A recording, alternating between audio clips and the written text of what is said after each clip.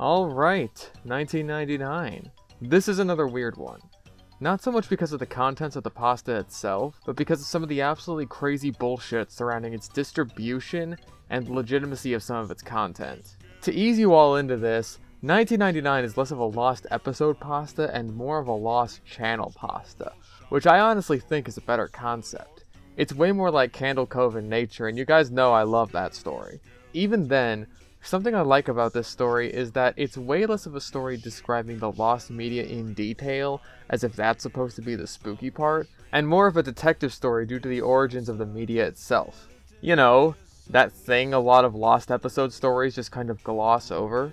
Who mutilated these children in gruesome ways? I don't know, that's gonna get less coverage in this story than Squidward being sad and hearing wind. Okay, story's over, bye. This is a story that seems to be made as almost a direct response to a lot of lost episode creepypastas and the cliches they've spawned. It was pretty refreshing to read a lost episode style pasta that wasn't complete garbage, and yet apparently creepypasta fans weren't totally happy with reading something that wasn't trash and decided to have their own go at making it so. Or maybe they didn't? Look, it's a shit show. For now, we're going to be looking at the story as you can read it now. So let's get started. Now we've only got two real characters to talk about.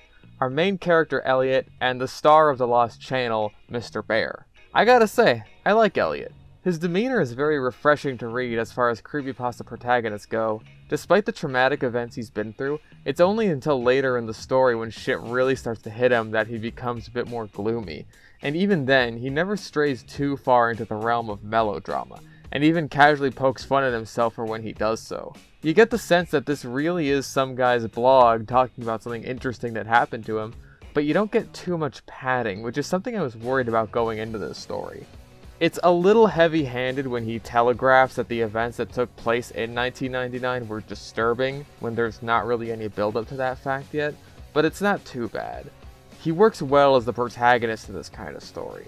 Not only was he present to watch the shows described rather than simply being an omnipotent narrator relaying what is essentially an urban legend or rumor, he's involved in the disturbing events as well, or at least he came very close to being involved. He's akin to Jay from Marble Hornets in that he plays detective for a good part of his story, and it makes sense as to why this channel is something he'd want to investigate in the first place, considering his immense personal connection to it. This is by no means groundbreaking, but it's definitely refreshing, and by having a character whose motivations make sense, we're more easily able to ease ourselves into the Lost Media content without having to worry about why the main character would even bother telling us about this or worrying about plot holes. And of course, we have our antagonist through this whole thing, known only as Mr. Bear. I too know a Mr. Bear, but he lives on my head. He tells me things. Things about forest fires. Anyway, Mr. Bear isn't the strongest antagonistic character, both literally in terms of what he's capable of and in terms of writing. He has no superpowered abilities, unlike many creepypasta bad guys, and unlike my own Mr. Bear, who has the power of smoke generation and manipulation. This is something I'm fine with, as he's fairly intimidating on his own without any powers. His motivations are laid out fairly early on in a show called Paint with the Soul, where he picks up a bunch of trash in the woods and says that people are trash and he wants to get rid of them. There also isn't really a mystery to what he does, so it's not like there's a big twist at the end where all is revealed. We know what he does from an early point, so it's more like a lot of the story is getting to the point where we see the tape of him killing a bunch of kids. What Mr. Bear lacks in depth, he makes up for in presentation and intimidation. His shows are disturbing, and using them as a means of luring children into his cellar only to dispose of them is not too far from the realm of reality, making him feel surprisingly grounded. The fact that he's never caught also creates this nagging feeling that he's still out there somewhere and might be coming after Elliot. So Mr. Bear is a functional antagonist, and works as a means to get not only the investigation angle going for Elliot, but also as a means of getting us to the lost media itself. Often in lost episode pastas, the big question at the end of the day is, what's the point? Why even bother making this convoluted episode of SpongeBob or Ed, Ed and Eddy with weird imagery and spooky shit happening? Is it just to scare the hell out of kids? It certainly doesn't work on the fucking audience. Oh no, SpongeBob is turning into a zombified ghoul, and Double D is becoming blurry! Well, for starters, Mr. Bear's shows are actually sinister. In fact, I'd say my biggest issue with them is they start off too sinister for their intended purpose, which is to lure children into a cellar to be a part of his shows and eventually killed off in what seems to be some sort of satanic ritual. This alone gives the Lost media in question leagues more narrative purpose than almost any other Lost episode pasta in existence, and that's pretty important considering they're often the focal point of the story. I do think the motivation is fairly weak, but at the very least, it's believable. The guy is a serial killer, and the reason for killing people doesn't really have to be really well thought out, and the method makes it interesting enough to keep reading. Now, of course, that doesn't mean that you can just have your killer character do whatever you need them to do for the sake of the story because they're crazy, because that would be complete dog shit writing.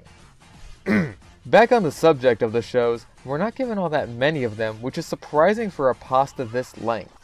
With the whole thing basically being a lost channel story, you'd think it would be the focus, but it really isn't. They're more used to give context to the events that took place in 1999 in order to give us more to work off of from a detective angle, rather than being the sole focus and primary source of scares. Some of them are more meant to be kind of off putting and just sort of out there as opposed to being outright scary, which is a touch I appreciate. I think what I would have liked to see more of are episodes where things are like 80% okay, but there's a sinister vibe about the whole thing, or just one or two things that seem off. The first episode of Mr. Bear's Cellar comes close to this, but it's not quite innocent enough to sell me on the idea of this guy using his kids' show to lure in kids. I feel like too many would get scared off like our narrator almost was. I would've. Hell, when I was a kid, I was scared off by Are You Afraid of the Dark? Mr. Bear's Cellar would have left me fucking traumatized. More than I already was. Look at this! Look at this! They showed this to kids! Okay, let's get through the story before we get to talking about the controversial aspects. Our story begins with our main character Elliot reminiscing about the bizarre summer of 1999, and all he wants to do is watch some fucking Pokemon. He misses an episode a day because his dad is too busy watching Fox News broadcasts of 4chan blowing up car bombs and closing pools due to AIDS. His dad gets sick of this twerp asking about his dumb Pokemon show and gets him his own TV to shut him up, even if it doesn't even have the channel Pokemon is on. Jokes aside, not a bad setup to introduce the foreign element of the Lost Channel. Once he has his own TV, he flips through the channels and finds Channel 21, a public access channel that's only picked up by older TVs with rabbit ears, which features poorly made, low budget children's shows. And definitely some Candle Cove vibes here, but the story's identity is unique enough to pull it off without feeling like a ripoff. It's definitely its own thing. This next part of the story is Elliot describing a few episodes that he remembers in detail. Mr. Bear's Cellar is a show about a guy in a bear costume who basically plays around with a new kid every episode. The first episode is certainly weird and there's a few red flags, but it's nothing major. It's a good start. Soup and Spoon is this bizarre special where a spoon chases a can of soup around and then a bunch of kids sit around a table about to eat the soup. I like that the kids seem confused, like even they have no idea what's going on here. The next episode of Mr. Bear Cellar he sees is a bit stranger, with an older child trying to get his sister away from Mr. Bear and attempting to run away. This to me is too much too fast for how much of the story is left. But as far as the timeline is concerned, this is nearing the time when Mr. Bear will kill all the kids. So it's not like it's a plot hole or anything, I just think we needed a bit of build up to get to this point. The next episode is a straight up invitation to come to the cellar. Just send in a letter and be part of the show. Elliot actually does so, and his dad is actually cool with all this. I think this part's a bit odd considering how he doesn't seem to want to watch much more of the channel. He only seems to do so when he's bored lately. But he does so anyway and heads to Mr. Bear's house, only to discover that the police are there, having just discovered a major crime scene that Elliot's dad refuses to tell him about. Elliot's dad just gets them both the hell out of there and doesn't say anything about what happened until years later when he turns 13. Mr. Bear ran the shows on Channel 21 from his cellar in order to lure kids in where he then kidnapped them. The author dangles what actually happened in front of us constantly here without actually giving any good information, and it honestly gets kind of annoying. Considering this is supposed to be a blog, you'd think the people reading it would get pretty sick of these long wait times only to get obvious information instead of the important details. And it doesn't feel particularly natural. He has no reason to hold this information back. He does so in the next update with no issues. It's almost like he was under the impression that people wouldn't be interested in what happened, or like he just didn't feel like saying it until prompted. In this blog post, he says that 16 kids were found burned in a deep ditch in the forest. Again, the ultimate goal here of just killing a bunch of kids for the glory of Satan is kind of weak, but it could definitely be a lot worse. Maybe it's because it feels fairly disconnected from the whole Lost Channel setup.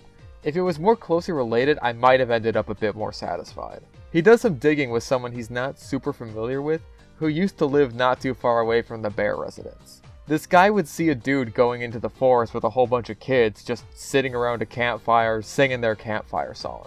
But crime rates are low, since this isn't America, so he doesn't suspect much and tells them to keep it down. They don't. Anyway, Elliot talks to his dad's friend, who's a cop, and heads down to the police station to look at some tapes they found in the house after investigating. All the tapes they have are split up between different police stations for some reason. This seems like video game logic to me. All the pages of the Thievius Raccoonus are split up, so we have to go to all the different locations to get them back. Anyway, the first of the tapes he sees is an episode of the show called Paint with the Soul. Anyone who's here for the controversy knows this one well, so don't worry, we're gonna get to that. This is a show that was mentioned previously, along with another show where a guy in a chair talks about appeasing Satan. Basically, this one's some guy walking through the woods at sundown, picking up a bunch of trash and showing it to the camera, talking about how humans are garbage and he would save ourselves from ourselves by cleaning up the garbage that is ourselves. These two things I just mentioned are basically the motivation we're getting for our killer. It's nothing amazing, but at least the presentation of being in video form makes it fairly unique. The next tape is another episode of Mr. Bear's Cellar, where Mr. Bear basically spikes a bunch of glasses of orange juice before giving them to the 16 kids who would later be found dead in the fire pit, including the kid from earlier who tried to get away. He sings a little song, everyone chugs their orange juice, and the episode ends as Elliot leaves the station to look for more answers.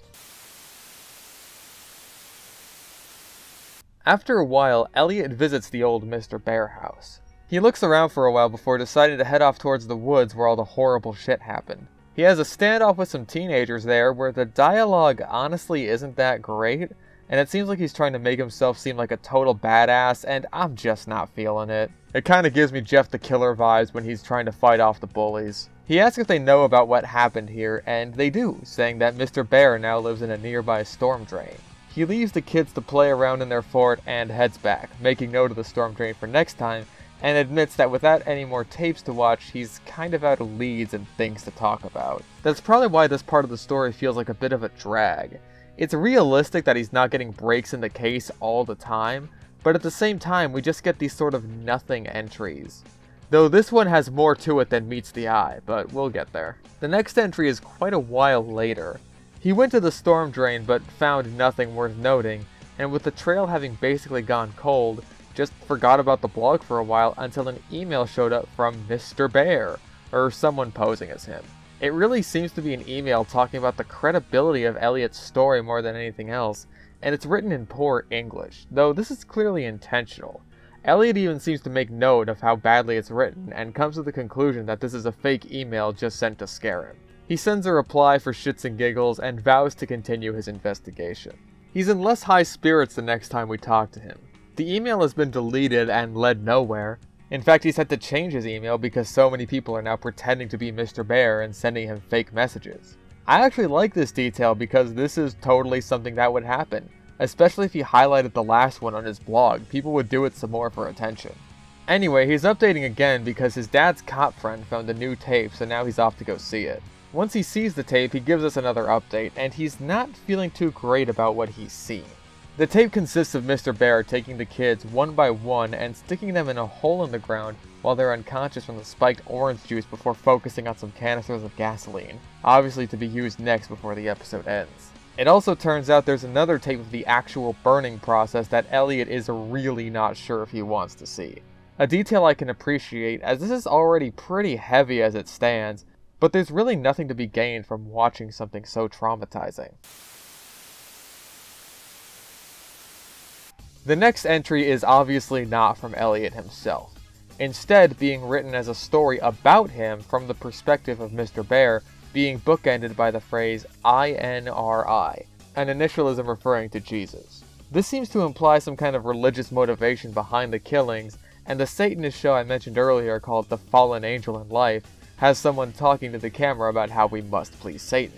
But that's the only real previous connection. After the sinister hacked message is posted, it takes Elliot several months to update again, and once he comes back, he says that he's watched the last tape. He admits to not really knowing why he wanted to see it, except maybe out of a sense of closure. He thinks he'll be fine watching it because he's watched every Saw film and a video of animal slaughterhouses. At least he admits he was being really naive because nothing really prepares you for seeing videos of even adults dying, let alone a whole group of kids. The description is far more reserved than what you'd expect for this kind of story, which is very refreshing. It doesn't go into too much graphic detail, and the description is more how he's feeling while watching it. Once the burning is done, it cuts to the Mr. Bear outfit lying on the ground in the shape of a cross. And near the suit is a sign reading INRI, with a final zoom on the bear's suit's face. And with that, the episode comes to an end. Elliot, however, doesn't seem to take note of this because he's too shocked by the ordeal he's gone through, and he mentions that watching the tape didn't help him at all.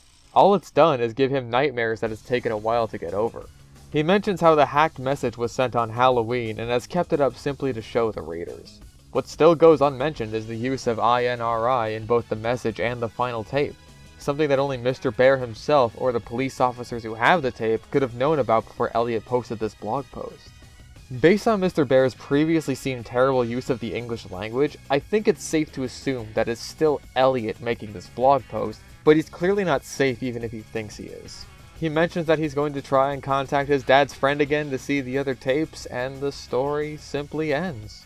It's a very Ted the Caver style ending where we're only left to assume that something terrible must have happened to him off screen. It also reminds me a bit of the ending to Ben Drowned, where there's a small clue in the story that tells you what really happened, but it's not spelled out for you. So it's kind of a mix between Ben Drowned and Ted the Caver's ending.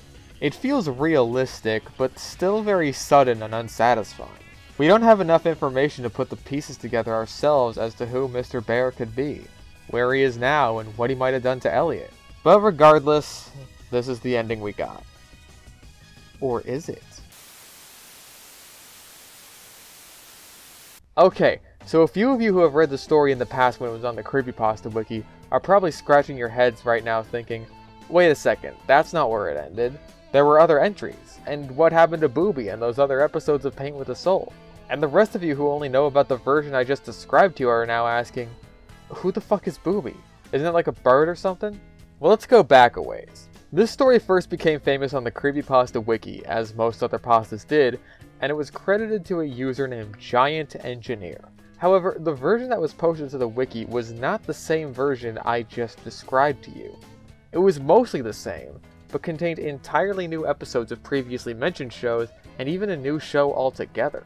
The new show that is not present in the version you can read today was called Booby. It was basically this hand puppet show minus the puppets. It's clearly meant to be a parody of the old kids TV show Oobi, although Oobi first aired in 2000 while Booby is mentioned as being played in 1999 obviously. So I suppose it's more of a meta parody as opposed to in-universe.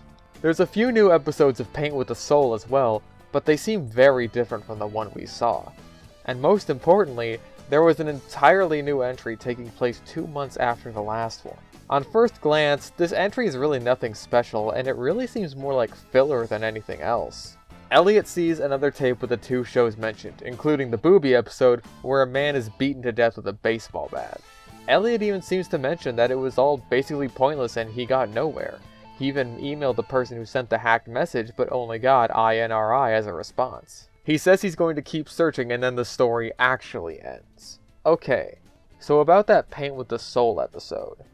Those of you familiar with a YouTube series called Alan Tutorial might recognize, well, the entire thing. This entry is ripped off almost wholesale from an Alan Tutorial video. And if you look back at the other Paint with the Soul episode that was missing from the current version, it also gives off a massive Alan Tutorial vibe. It's hard to believe this is apparently the same show as the guy walking through the woods picking up trash. Word of this got out fast, and even the Creepypasta wiki acknowledged that the story was likely plagiarizing Alan tutorial. But then, in a completely unprecedented turn of events, the original author comes out saying that the version of 1999 on the Creepypasta wiki is indeed plagiarized, off of his own work.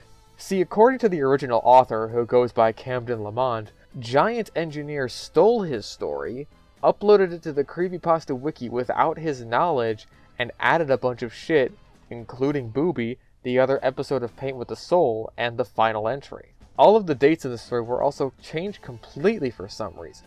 I'm not entirely sure why. So Camden systematically went through and copyright claimed almost every reading of 1999 that was based on the plagiarized version on YouTube, and that version is now very difficult to find. I was able to find it on three places. Two of them my fans sent me. The last two thirds of the story can be found on this random Japanese website, which graciously highlights the changes made between each version. Another is the full story listed on Wattpad, which covers the missing beginning but can't be copy pasted, so I had to write down the missing parts manually. The last place I found was the Undercooked Analysis reading, and these guys were among the first to recognize the Alan tutorial plagiarism. The cameraman made his way through the alley, the derelict buildings on one side, and rusted metal fence on the other. Oh my god, no, this is mother. Okay, no, he knows about. This is straight up. This is straight up Alan tutorial. Man, this is yeah, this is straight up. This is almost par- this is this parody? I don't know. That's weird. What? For real? Okay, so So let, let's let's keep going. okay, Let's- no, okay, we need to stop for a second, because okay, Oh my god. Does does this mean our the story's integrity has just taken a nosedive? Let's. Now, Slime Beast, who you'll know is the author of Abandoned by Disney, Funny Mouth, and of course I Hate You, did his own digging and he thinks this is all bullshit. According to him, Camden is lying and just covering his tracks to hide the fact that he plagiarized Alan tutorial. And his efforts to remove the original reading from YouTube are another means of ensuring his tracks are covered. So, what is the deal? Was Camden the victim of having his original story stolen, or is he a liar who's just trying to save face? I conducted my own investigation using the tools I had. So let's take a look at whatever evidence I managed to find and see what conclusion we can come to. Let's go. First things first, let's take a look at Slime Beast's latest video talking about 1999 and his take on the situation. Let's start off with something that's easily disproven. That Paint with the Soul was always an Alan tutorial ripoff.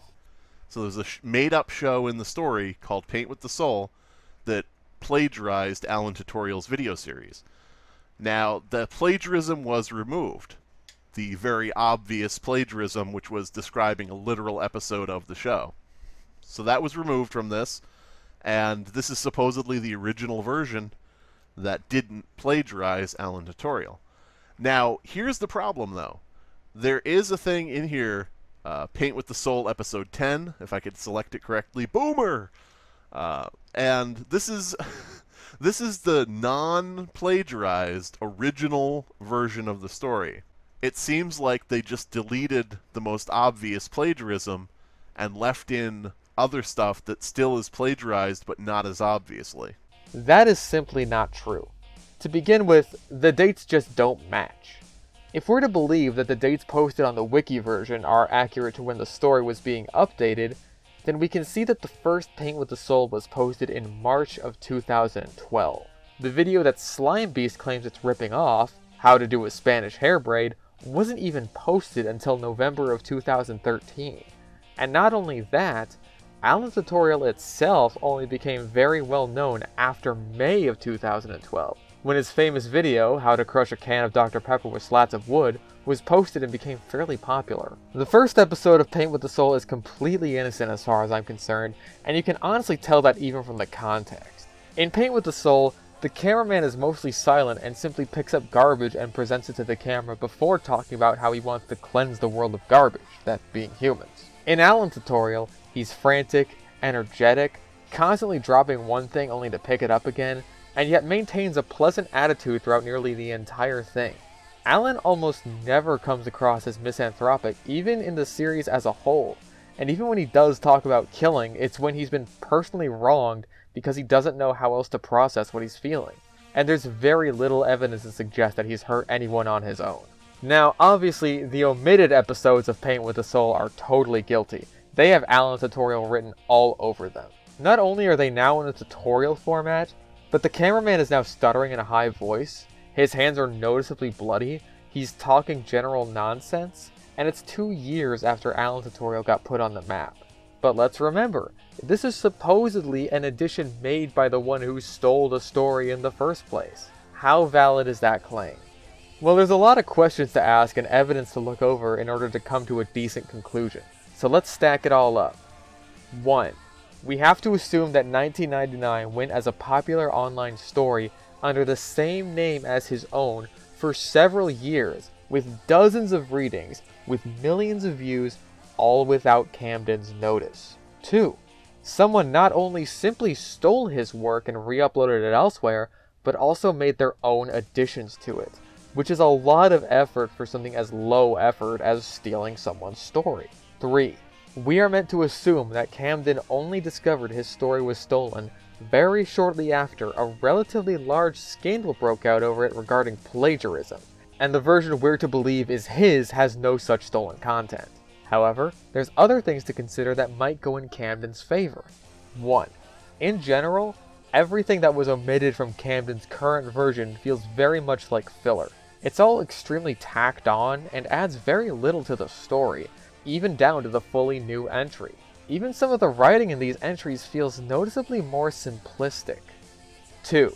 If Camden really wanted to cover his tracks, why not say that Paint with the Soul in general was a fabrication from the Story Thief and remove the first entry? Booby shows up even earlier and that was omitted entirely. 3. Booby has no plagiarism connection. It's only based on another children's show that took place around the same time as his story and can easily be written off as homage or parody. There's no reason to omit it unless you didn't come up with the idea. You can easily say these were done intentionally, or maybe as the years went on, Camden found he just didn't like the booby subplot and elected to remove it from his new version. But the point is, we're missing a lot of information. Also, according to Slime Beast, the original author is an engineer, and the Creepypasta Wiki's user who uploaded the story was, of course, Giant Engineer. It's also worth noting that in both versions of the story, Elliot is also studying in college to be an engineer. That seems like a pretty big coincidence, but I don't think it's enough to sink him. Even Slime Beast himself says that it could very well be a coincidence. Maybe it's his TF2 main for all we know. We're going to need more evidence, and we have a couple things to look at. First, there's an interview the author did for a podcast back in March this year. I'll post a link to the blog post in the description. Curiously enough, I couldn't find the actual podcast mentioned, but I'm not sure if that's on me being bad at finding it or if it just hasn't released yet. You can look for yourself if you want to, especially once this video is older.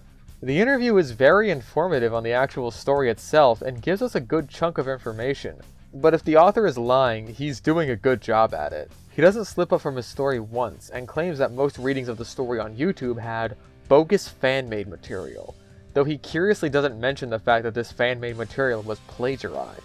He talks about an old show called All About Art that served as the inspiration for not only Mr. Bear's character, but also Paint with the Soul, though the two have quite different tones.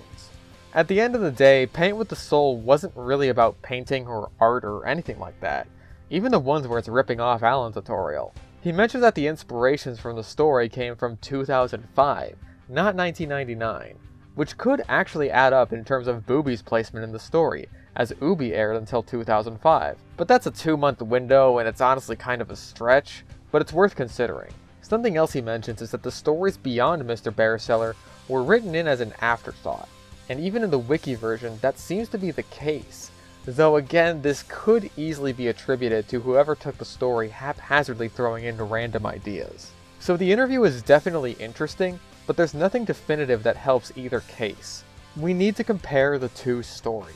After putting the two stories side by side and going over several agonizing details, I found two major hits. However, to add to the confusion, they both support opposite ends of the narrative. The first one I found was in the wiki version. In the line here, it says, His hand was Booby, he was Mr. Bear, and he was the mysterious cameraman. Look at that capitalization. That is a classic amateur mistake for when you're adding something into something else that you've already written, which fits in exactly with Camden's claims. This reads as though someone just made up Oobi on the spot and stuck it in the story with no regard for how it fit in with anything else, even down to the sentence structure. Now, this is not a slam dunk, case closed situation for a couple of reasons. First of all, in his own interview, Camden claims that the stories beyond Mr. Bear Cellar were afterthoughts, and this could easily apply to Oobi as well, if he is Oobi's creator. So somewhere during the writing process, he comes up with this idea for Oobi, sticks it in an older draft, and makes a minor grammatical error along with it. Both this and the notion that someone else made a slip up while adding in their own super special 1999 OC are plausible. The second reason I don't think this vindicates him is that the second hit I found is potentially more damning. Both versions of 1999 have dates where the blog updates, but between versions they're very different. This is likely because on the wiki version, it was updating in real time on the dates listed, something that's impossible to prove now for both versions as neither are covered by the Wayback Machine.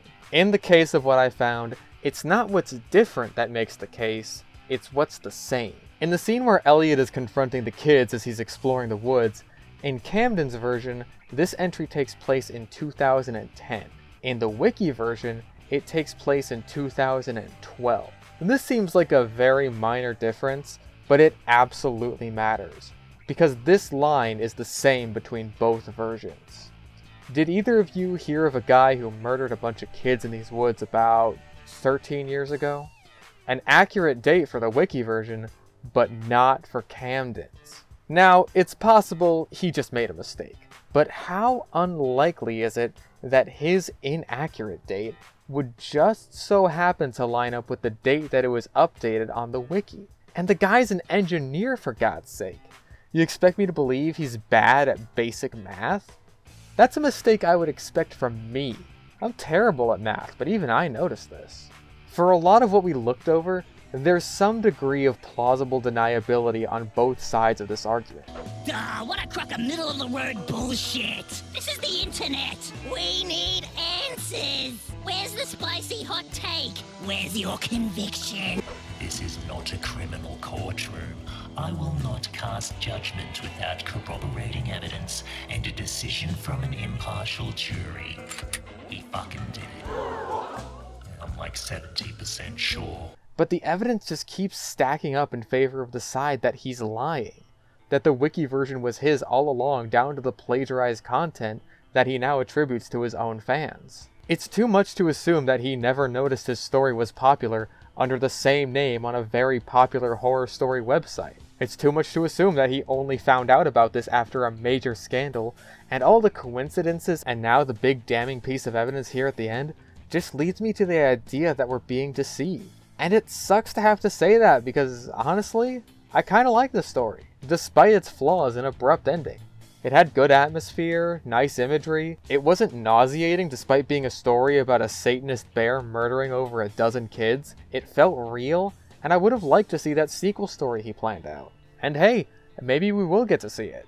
Camden said in his interview that he wants 1999 along with its prospective sequel to be adapted into live action, like what Channel Zero did with Candle Cove. Yeah, I'll get back to looking at that one of these days. I certainly wouldn't mind seeing that, but really, if I am right on the money here and not just blowing the situation completely out of proportion, then I'd kind of just like to see Camden own up to it. Like, yeah, dude, you were riding high on the relative success of your online story, you got cocky, and you made mistakes. These things happen. We all find inspiration in places that can easily turn into imitation without us even really thinking that's a bad thing. Hell, this whole channel started off as a blatant imitation of Mr. Plinkett. I like to think it's become its own thing now, though. 1999 is kind of the same way. The wiki version is honestly worse off than the one you can read now. Not just because of the Alantutorial ripoffs, the Oobi entries feel tacked on and don't really add much of anything to the story. except gore where it isn't really needed. All they do is pad out the length when it's already long enough as it is. So, in a weird way, the plagiarism scandal actually ended up giving us a better version of the story. I don't mind the current story being successful. If I am right, I'd just like Camden to admit his past mistakes. We're only people after all, and people at the end of the day are just garbage. Thanks for watching this video. I really hope it doesn't get a DMCA claim, it took a lot of fucking work to get it done. Thanks to all my patrons who were patient with me while I piled all this bullshit together. If you want to know my thought process while I make these videos, you can follow me on Twitter. And if you want to see me play video games in my spare time, check out my gaming channel at FasoisTF2. It's actually picked up a decent bit of traction lately, and I've got loads of ideas for it. But that's it for me today. Until next time.